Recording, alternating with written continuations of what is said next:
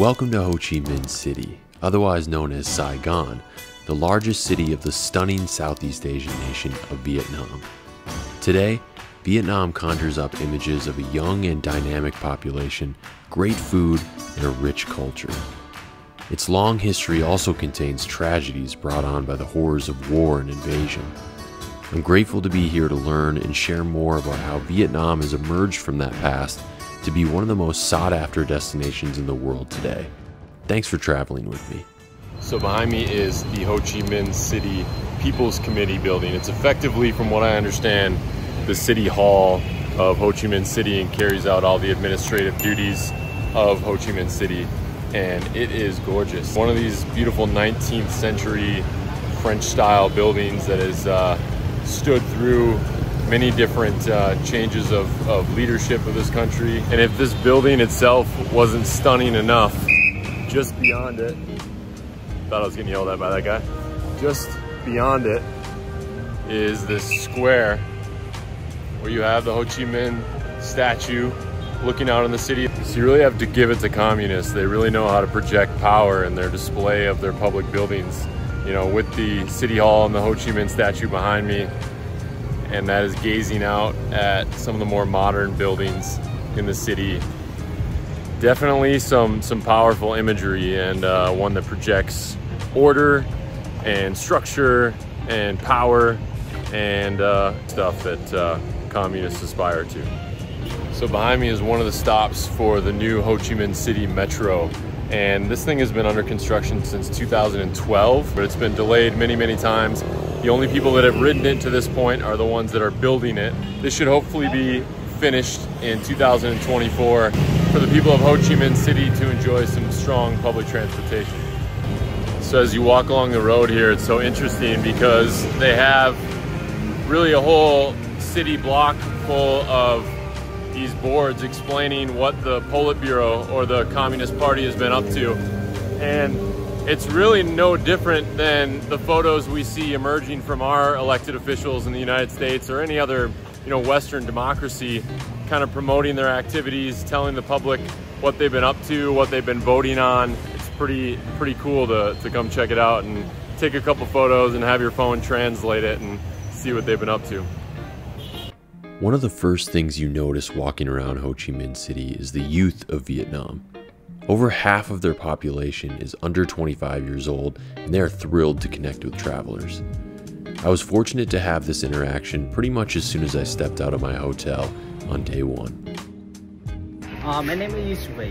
V. Yeah. And V, what, what school are you from and where, what are you doing today? Okay. Uh, I'm from uh, Saigon Tourism College, Mm-hmm. and um, today I, I have to lead uh, our team Yes. uh, to talk to foreigners about the speaking your. Wonderful. Well, thank Yeah. you so much. Okay. Thank you for Thank your you. time. Hall love Vietnam. So now I'm uh, leaving Saigon Center, the rather bougie mall behind me, and heading over to Ben Thanh Market. Ben Thanh Market has been around since like the 1870s. It's had a couple different iterations as it burned down a couple of times, had to be rebuilt, but called Ben Thanh Market, but for a long time it was just known as the Saigon Market, and uh, we're gonna go check it out.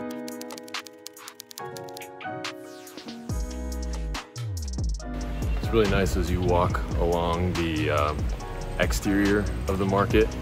They have these fixed price shops. So for people who aren't interested in bargaining and things like that, they can just come to these fixed price shops and you can see like there'll be 10,000 dong probably. Um, so if you're not interested in, in bargaining and haggling, all that stuff, just come here, pay the fixed price, and then maybe you can go in and try your hand at bartering after that. I tried to capture the diversity of things to buy here, and it was not difficult. Everything from beautiful bouquets of flowers to fresher fish than I care to recall the smell of, to some of the best knockoff clothing, shoes, and bags in the world. I was on a mission for some cement Jordan 3s, so I took off to navigate the maze of glowing stalls within the inner sanctum of Ben Thanh. One, 1.1. 1.2. 1.1 million for the jacket and Vietnam football shirt. Okay, okay. You will be ready just 1.1. Merry Christmas. as you can see these shops get pretty narrow as you go in. So if you've never been to a market like this before, just prepare for a little bit of claustrophobia as you're trying to make your way through here and figure out what you want. They look like they have shoes. Hi. Looking for looking for shoes. Shoes. This way? Behind me? What what number is the best? Right here. You sure? All right, all right, all right. One of the issues I'm running into is that they don't have my size. No, it doesn't have the size? Okay. White? Uh, I'm looking for black. Obviously, as you can see, they have really good options here, but possibly not 11.5. Yeah? Can you help me? Of course, of You're course, yeah. Yeah. Get that shoe bag for her. So we'll keep looking. In addition to all the Nikes and Jordans, this place has Gucci loafers, Yeezys, and New Balance galore. After striking a great deal for my threes, I was on my way. What was your name? Good deal. Good deal. So I'm here at the War Remnants Museum here in Ho Chi Minh City. As you can see behind me, a lot of remnants of what we in America would call the Vietnam War. Now here in Vietnam, unsurprisingly, they call it the American War. Um, so after the Americans left in 1975, obviously a lot of military equipment and material and things like that uh, were left behind. And this is what came of that. So basically, um, these materials were, were gathered up by the Vietnamese and they're displaying it here as a part of the acknowledgement that um, in their mind they, they won the war and the Americans retreated. And so it's, it's a really, really interesting collection of all these materials. And um, this museum was opened pretty quick after 1975 and when the Americans left. And when you're traveling to Vietnam, especially as an American, it's obviously one of those things that's really unavoidable, the war. And even when you're walking the streets of Vietnam, any city really, and understanding that, you know, your ancestors fought a war with their ancestors, it's pretty, it's pretty moving, it's pretty stirring. And honestly, at certain points, it's, it's really disturbing, um, you know, what was done in this country and to this country and its people. Um, that's why you come to museums like this, regardless of what country you're from, what side you think you may have supported or, or anything like that. You come to these museums to experience these things, to learn more, acknowledge the history. So really happy to be here and to you know get to know the story a little bit better. The museum pulls together collections of archival footage, newspaper clippings, and photographs of the war. One of the most devastating sections juxtaposes the words of the U.S. Declaration of Independence and stories from American newspapers with statistics regarding the massive loss of human life and the amount of weaponry used during the war. The level of destruction witnessed during this period is honestly hard to comprehend, and it's places like this that should be mandatory visits for any American running for president or any other world leader tasked with commanding a military. You leave places like this feeling certain that we'd have a far more peaceful world if those responsible for running it interacted with the consequences of war this intimately. After the heaviness of the War Remnants Museum, it was great to get back into the thick of modern Ho Chi Minh City and enjoy the hustle and bustle of this city of 8.4 million.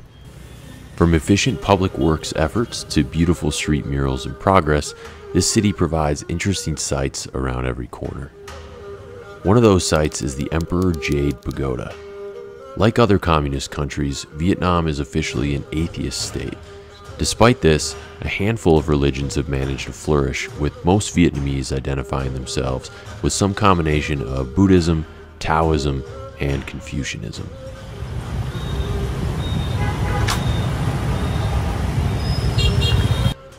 Alright guys, at this point I can't go any further without sharing bun cha with you. Bun cha is a delightfully simple dish that is essentially just a soup with pork patties, sticky noodles, and veg. The best part about bun cha is that you're tasked with building your own bowl with however many noodles and herbs you want. Originating in the north, I assure you that they still make great bun cha in southern Vietnam. Also, on the food front, No visit to Asia is complete without stopping in 7 Eleven and sampling the snacks. Asia produces the widest variety of snack foods I've ever seen, and it's always a trip to stop inside and sample some yourself.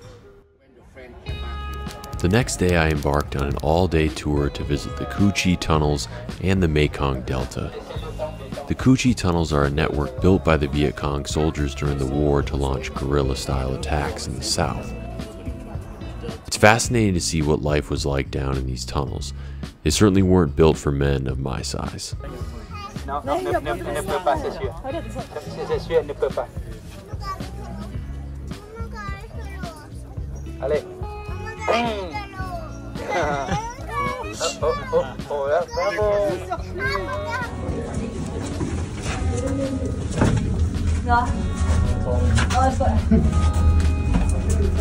Just as the War Remnants Museum was a haunting look at this tragic period of history, it was chilling to walk through the Vietnamese jungle as a steady stream of gunshots rang out in the distance.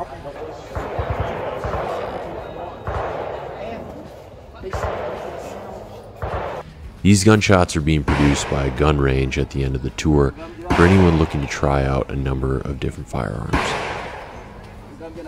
The second part of the tour saw us cruising down the Mekong River and exploring the Delta. While the Mekong Delta in Vietnam infuses this part of the country with life, commerce, and a key mode of transportation, the Mekong River itself is the 12th largest in the world and flows through China, Myanmar, Laos, Thailand, and Cambodia, in addition to Vietnam. We got to sample some delicious local tea and fruits while enjoying some traditional Vietnamese folk music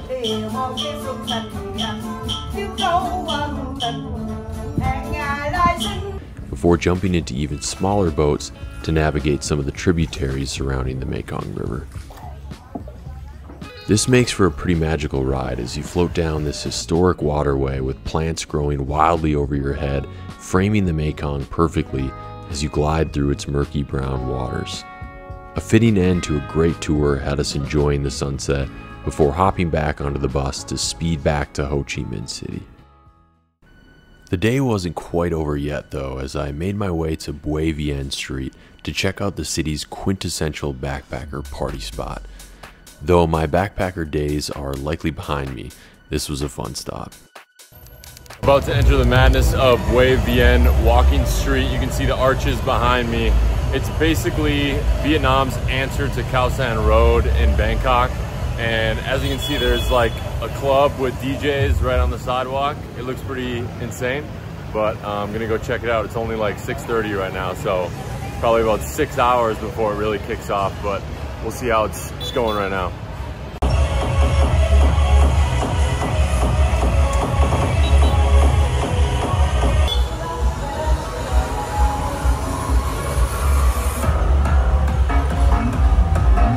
Never been to San Road or Bui Vien, I definitely recommend uh, at least coming and, and strolling through, even if you don't stop for a drink. But very good for people watching, very good for just enjoying the lights and the sounds of um, probably the loudest and brightest part of Ho Chi Minh City. As I grab one last bowl of bun cha, I wanted to say thanks so much for checking out this video. I've got much more to come from Vietnam soon, as well as a lot more great travel content on my channel. Don't forget to like this video and subscribe to follow along for more.